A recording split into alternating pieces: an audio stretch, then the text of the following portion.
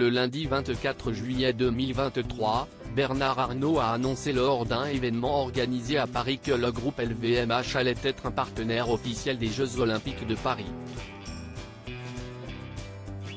Une grande première pour la prestigieuse entreprise familiale.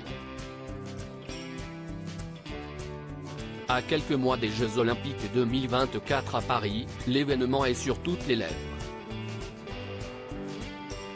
En effet, du vendredi 26 juillet 2024 au dimanche 11 août 2024, la capitale française vibrera au rythme des compétitions sportives. Lundi 24 juillet 2023, un événement a déjà attiré tous les regards. Il s'agissait d'une conférence de presse organisée par Bernard Arnault.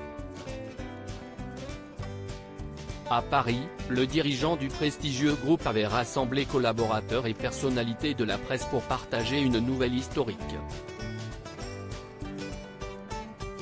Et pour cause, le PDG de LVMH s'est fait un plaisir d'annoncer que LVMH, premier groupe mondial de luxe, a signé un accord de sponsoring avec le comité d'organisation des Jeux Olympiques et Paralympiques, COJO. Une annonce à laquelle Thomas Bach, président du comité international olympique, a assisté. Il s'agit d'une grande première pour le groupe LVMH qui n'exclut pas de prochains partenariats dans le futur. Ainsi, LVMH rejoint la longue liste des sponsors de l'événement sportif. Le groupe familial sera alors partenaire au même titre qu'Orange, Carrefour, EDF ou encore Sanofi.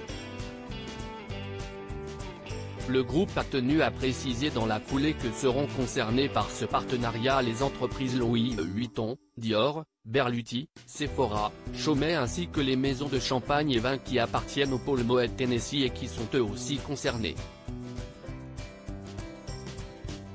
Antoine Arnaud, directeur de l'image et de l'environnement du groupe, a précisé à l'AF que LVMH voulait vraiment s'investir dans la compétition. Nous ne souhaitions pas être un partenaire uniquement financier mais nous souhaitions avoir un rôle à jouer dans la tenue de ces Jeux Olympiques, a-t-il dit, avant de détailler quelques-unes des fonctions que tiendront les entreprises partenaires. Chaumet, le joaillier cité, sera en charge de produire le design des médailles olympiques et paralympiques qui seront offertes aux champions. Ces récompenses seront frappées par la monnaie de Paris. Quant à elle, l'entreprise Sephora deviendra le partenaire du relais de la flamme olympique.